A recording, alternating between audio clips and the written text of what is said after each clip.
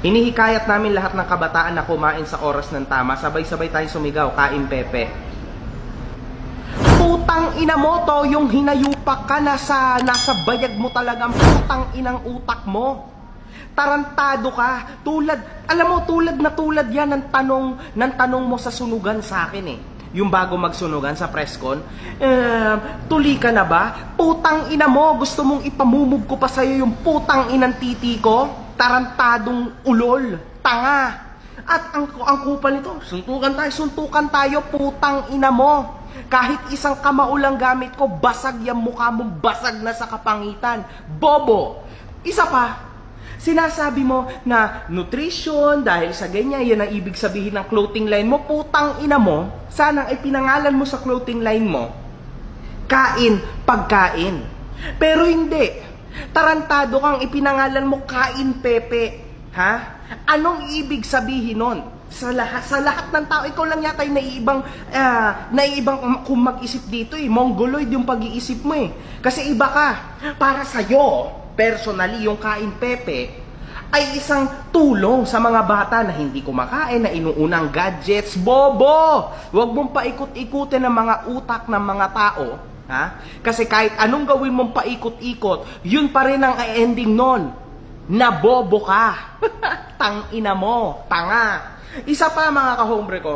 Because, nadaig mo pa yata yung kapal na labi ng puke ni Tony Fowler. At least si Tony Fowler ay, nagig ay okay na ngayon.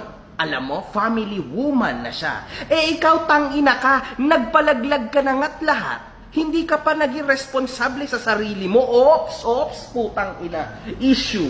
Oh shit, ba't ko nasabi to? God damn. Whew. Sabi ko. Oh shit. Ah, it doesn't matter. so yes, Leng. Reality check. Dahil halos naman ipakita mo na ang buong katawan mo, no?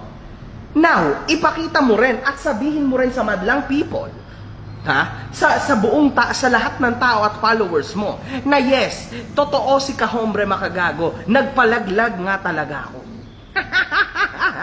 And yes, Leng, itatanggi mo? Itanggi mo? Gusto mong itanggi ngayon, bukas, hanggang kailan? It doesn't matter. Kapag tumanggi ka, ha, alam mo mangyayari, ilalabas kong ebidensya.